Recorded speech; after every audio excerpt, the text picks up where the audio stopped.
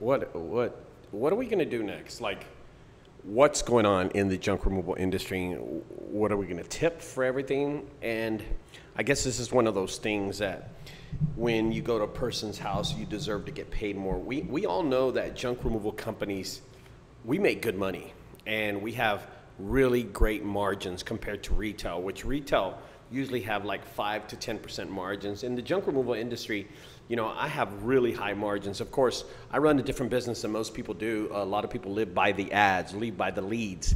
Uh, they live by the leads and the ads and the SEO that they pay for and stuff. Unlike myself, I don't have to pay for any of that stuff. So I, I'm saving already 35 to 30 percent, maybe 40 percent on anything. But you know, when it comes to these tipping, I, you know, I just keep on hearing this, on, and I, I look at the Facebook groups and I see somebody saying that, hey, they, we just got our new, you know, credit card machine. We're going to insert the, the tip tab and we're going to add that to our junk removal service. And I'm like, golly, dude, what, what are you, a restaurant? This is this a coffee shop? Are we doing donuts now? What, what's going on here?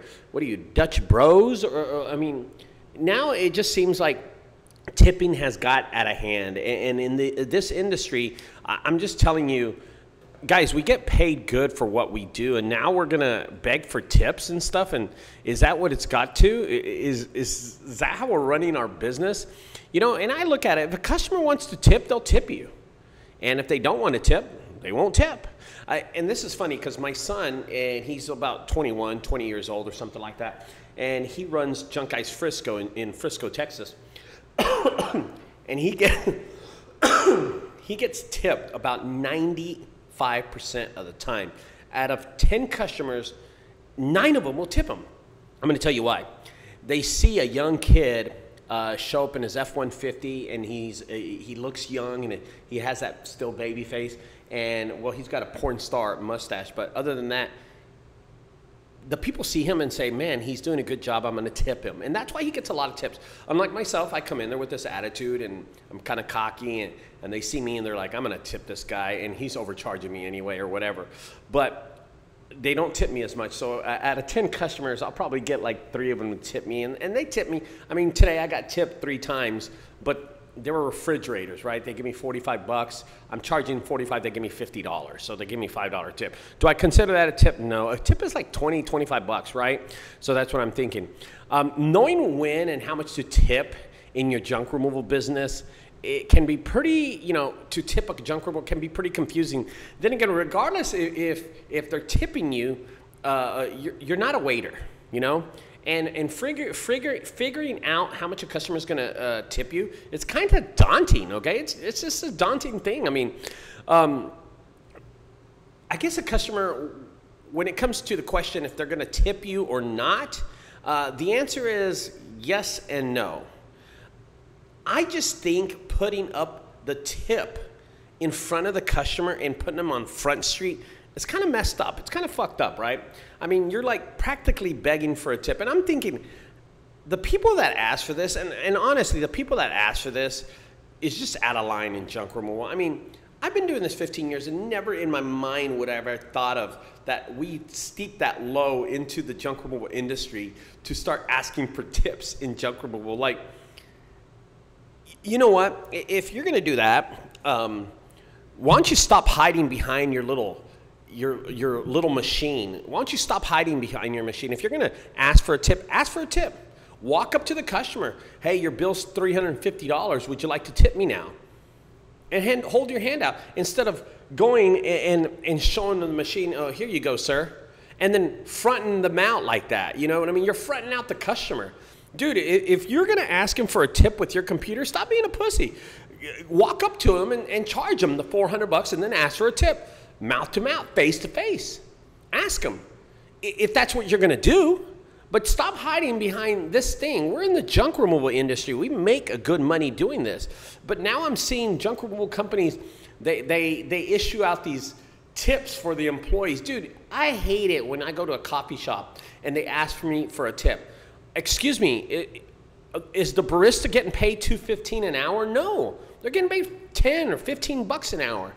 People that ask for a tip should deserve a tip because um, they're in that industry. Uh, that's what I meant to say. So, people who are getting paid $2.15 like valet, uh, waitresses, they deserve a tip. Now, let me tell you what happened. I'm in a restaurant and the bill was like $84. And I'm looking through the bill. No, it was $80. It was 80, 79 bucks, 79 bucks. And I'm looking at the bill and I have a $100 bill, like a 100, a clear $100 bill. And the bill comes in, it's 80, 79, 90, something like that. And I look at the, the, the, the I'm reading the bill and it says kitchen love, $3.50. What the fuck is that? What is kitchen love? I'm gonna have to show the kitchen some love? So the waitress comes in and I said, Hey, what is this on my bill? It says kitchen love. She goes, Oh, it goes straight to the kitchen. And I said, Well, take it off my bill. I don't, I don't, I don't want to tip the kitchen. They're doing a job. How about if the food came out shitty and I didn't just didn't want to say nothing? And I'm still gonna show them some love. Fuck the kitchen. I don't care about the kitchen. And, and, this is straight up. I'm just being honest. I told her to take it off, and I said, "Here, here's a hundred dollar bill take it off my bill and keep the rest of the change. So she went up to the front and she said, Hey, take this off the bill because those $3.50, $3.50 are going in her pocket. I am frustrating with having to go to a coffee shop, having to go to a, a, a small little dinky dink bagel shop and them asking for a tip. You know what I've been doing? And I'll be honest with you to eliminate that, I don't pay with my debit card, I always pay cash. I'm just tired of people asking for tips. So imagine you get tired of asking of people of, of, of businesses asking you for a tip, and then you turn around and you're doing it right to them with this junk removal service. So if you're a junk removal owner and you're tired of people asking you for a tip, and you're oh, oh, you, maybe you're not tired, right? Maybe you're not tired. You just don't do it. You just think as another when they hand you the tablet where it says, you know, 55 bucks. Would you like to live a tab? But you said no. Maybe it doesn't bother you. Okay, maybe it doesn't bother you, but you're not tipping. Fuck, dude, but you're you're gonna sit there and do it to somebody else? As a junk removal owner, you should know that we're making good money. And honestly, what is going to be the difference of an additional five or ten dollars? Is it going to whoa? Now you can afford that Corvette. Whoa! Now you can pull up in your H1 Hummer. What what, what is it? What's going on here in, in the junk removal industry? Listen, I think it's at a it's it's just out of line. So I was reading this article um, and it's on LoadUp, some crazy company right here, and it was just showing uh, this stuff about how to ask for a tip, uh, how much should you tip your junk removal um, haulers. So it gives reasons why to tip them, right? Uh, and it doesn't look great on my screen for some reason. Let me let me let me hold myself right here. Oops, I disappeared. Let me hold myself. Okay, let me see if I can move this to the other side. Okay, there it is. Um, if, if, let me get that right there, okay? Tips for junk removal companies, are they doing a better job? Okay, what are some of the items? I saw this article, it's pretty funny. It said, do you have stairs? Uh, are, is there a parking issue? Are they walking really far? Uh, is the AC hot and broken in the house so you deserve a better tip because you're working in this heat? Um, are they going up the stairs? You know, is there an elevator? Um, these are issues that people are going to have that maybe the junk removal companies deserve a better tip. Um, and, and, these are really good ones. I never would have thought of all these. Is it storming outside and you're still removing their junk? Okay, that's true. Um, is, is it hard to access? I mean, there's a lot of places where it's hard to access where you have to walk down narrow hallways or you got to go and put the code in. It, it, the accessibility really sucks. Uh, are there any time constraints? Are you working with the customer's timing? Uh, oh, I only got 30 minutes. Can you come in and, and do this junk removal? You know? Let me, I'm trying to open it up a little bit more. Okay. Uh, there, so there they are. Uh, Um, do you have a lot of items that are soiled? Are they dirty? Are they bug infested? Some of the items that they're picking up can really harm the employees uh, in junk removal. Do they deserve a better tip? Um, are the items big? Are they heavy? Only men can pick it up. Do they deserve a tip for that? Uh, hey, the junk removal company just showed up and, and they were requiring special tools, equipment that I didn't really consider they would use, okay? Uh, are they breaking down items? Are they taking them apart? Are they using the saw saw, again, using equipment? Does the hauler have to take a ferry to get to the, what the hell's that? Who cares about that?